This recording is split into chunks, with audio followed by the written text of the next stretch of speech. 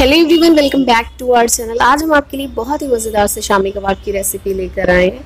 अगर आपने इस तरह से शामी कबाब बना लिए ना तो खाने वाले का हाथ नहीं रुकेगा, पेट भर जाएगा, लेकिन मन नहीं भरेगा।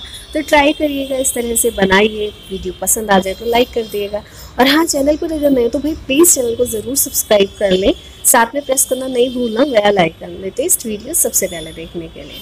तो फिर चलिए फटाफट से इसको बनाना शुरू करते हैं।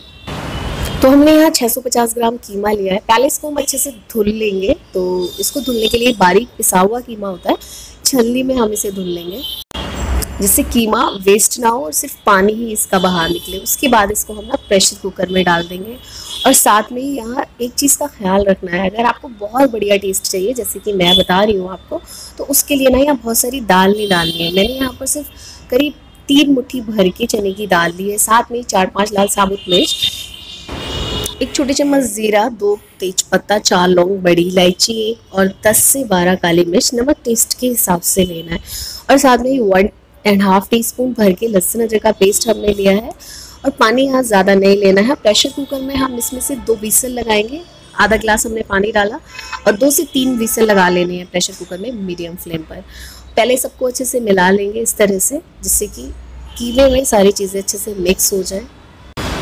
तो बस, उसके बाद हमें लगा लेनी है प्रेशर कुकर में दो बीसल आप यहाँ पानी देखेंगे, बहुत थोड़ा ही हमने पानी लिया था। इस पानी को पूरी तरह से खुश्क कर लेना है।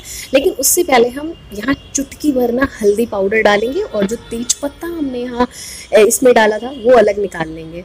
क्योंकि इससे जो फ्लेवर आना था वो आ गया है हम इसे साथ में नहीं पीसेंगे।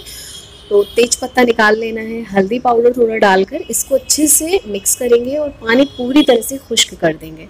और जब पानी बिल्कुल खुश्क हो जाएगा ना, तब कीमे को अलग एक प्लेट में निकाल कर ठंडा कर लेना है और बाद में इसको पीसना है।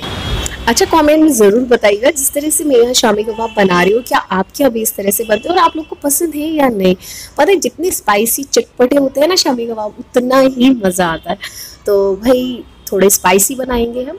यहाँ पे हमने क्या किया इसको कीमे को बहुत अच्छे से पीस लिया है, लेकिन साथ में ही यहाँ दो अंडे मिलाए हैं हमने और सबको अच्छे से मिक्स करने के बाद यहाँ जो भी मसाले हमें मिलाना है तो सबसे पहले हमने यहाँ पर लिया है बारीक कटा हरा धनिया, चार पाँच हरी मिर्च, इसे भी हमने बारीक काट लिया था। एक छोटी प्याज, इसे भी एकदम बारीक काटा हुआ है और साथ में आधी छोटी चम्मच धनिया पाउडर, आधी छोटी चम्मच गरम मसाला पाउडर। अगर आपको लगता है कि इसको थोड़ा और तीखा करना है तो आप यहाँ पर लाल मिर्च पाउडर भी ऐड कर सकते हो। और कश्मीरी मिर्च पाउडर अगर आपके पास है तो इससे कलर बहुत अच्छा आएगा, थोड़ा सा आप वो भी ऐड कर लिएगा। सबको अच्छे से मिक्स करने के बाद मैंने इसे करीब 10 से 15 मिनट के लिए फ्रिज में रख दिया था और बाद में से बॉल जैसा शेप देके हल्का सा प्रेस कर देना है। एक टिक्की वाला शेप देना है, जैसे कि यहाँ देख रहे हो। और बस पैन में ऑयल गर्म करना है और सेक लेना है फटाफट से कबाब। खाओ फिर चपाती के साथ और रूखी भी खा सकते हैं। चटनी के साथ बहुत मज़ेदार से कबाब लगते हैं। तो कबाब बनकर तैयार हो गए बहुत ही मज़ेदार, जितने देखने में अच्छे लग रहे हैं, उतने ही खाने में भी बहुत टेस्टी होते हैं। तो प्लीज़ ट्राई करिए, पसंद आ जाए वीडियो तो लाइक एंड कमेंट करके ज़रूर बताएँ।